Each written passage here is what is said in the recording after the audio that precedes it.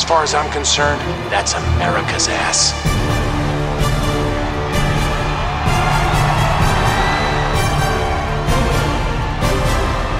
That is America's ass.